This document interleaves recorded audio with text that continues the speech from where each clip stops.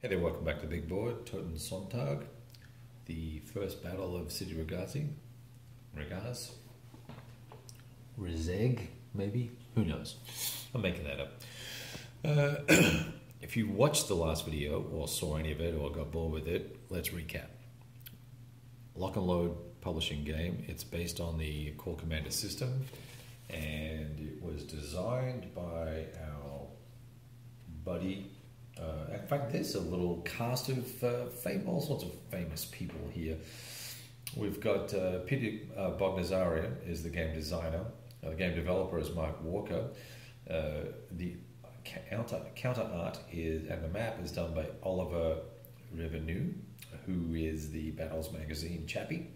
Jeff Lewis did the manual editing, and it just goes on and on and on. Jason Church did uh, does customer support. Didn't know that, did you? Anyway,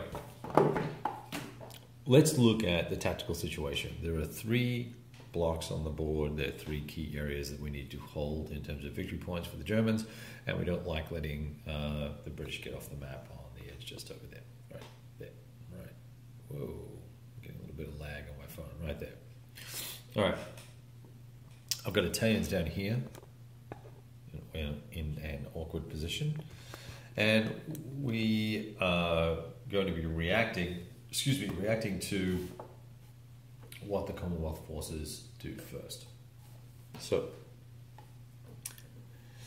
clearly, I think trying to uh, build some sort of defensive line, perhaps across here, would be of value. Use the Italians as either A, a blocking screening force and a counterattack the Commonwealth here, the British, or we can bail and try and head up into the escarpment here. Tough choice. For the Allies, we have to really think a little bit carefully about what we're going to do. We have reinforcements coming in uh, right, you know, right across the board. We've got the South Africans and we've got the the uh, fish and chip eaters, which is the Kiwis, and we've got the British here as well uh, and down here. Now, we can go charging in here and try, try and uh, secure these two locations. They're probably going to be key. At least one of them will be anyway. Uh, to uh, keep lines of communication open and allow reinforcements to come through and kind of press in. That is one thing here that there is no supply considerations given it's only a four day, I think four or five day scenario. So we don't really have to worry too much about that, but still you don't want to get cut off, right? So securing this and this will be our first priority. Uh, potentially trying to block these reinforcements from heading, or these forces that are situated here from heading up this way. So that makes this important. There's the consideration of whether or not we want to try and capture this hex, or are we going to focus on these two hexes and try and drive forces off the board here. Some tough choices.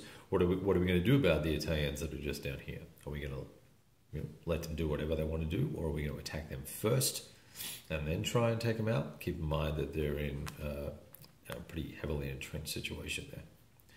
So there's lots of things to be considering and thinking about, and uh, I really have no idea what I'm going to do. So I will uh, move the the British get to move first.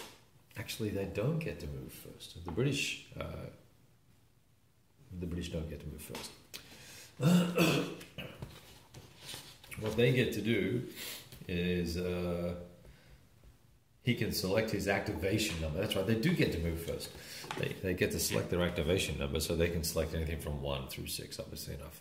And if they, they you will look at our lowest number, which is probably a three here, and we'll elect to use the three, and that will allow us to move all of our guys. Yeah. And then the, uh, the, the Germans will have to roll for theirs. All right. Let's see what happens from here. Got any thoughts, ideas, comments?